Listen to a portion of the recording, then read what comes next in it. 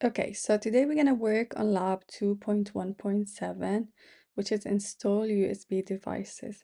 As an IT help desk technician, you are tasked with setting up a testing station to evaluate a variety of peripherals and devices. Your goal is to ensure that all devices are connected using the appropriate USB cables, providing a reliable environment for testing and troubleshooting. Okay, so let's go to the instructions. First it says place the USB hub on the bench work and connect it to the computer. So let's do that. Let's go to, sorry, let's go to network devices.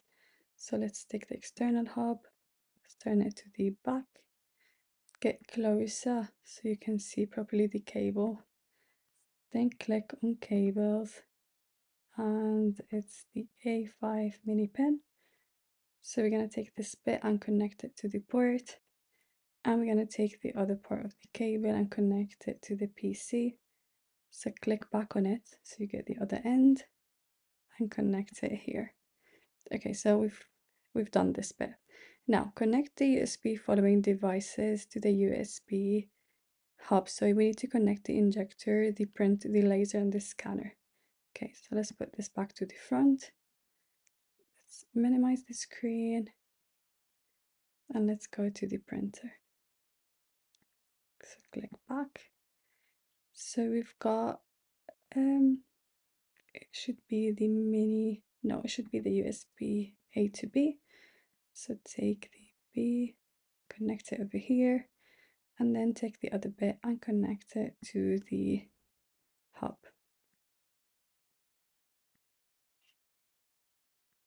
And there you go, now it's connected. So now let's connect the laser printer as well. So let's turn this to the front, to the back, and A and B.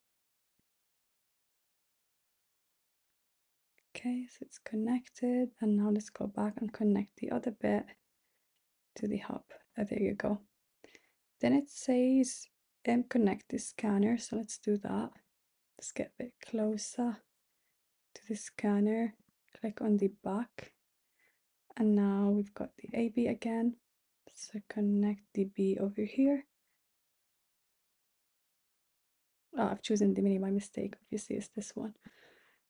And connect the B over here and the other bit to the hub.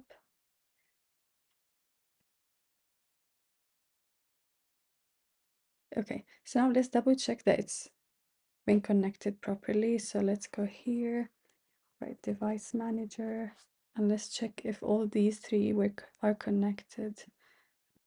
So